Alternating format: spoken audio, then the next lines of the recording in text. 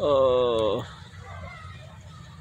¿Cómo es la vida, compadre? Allá la seguíamos con la carabina de chispa y aquí hasta con la resortera me la puedo bajar, pasarla.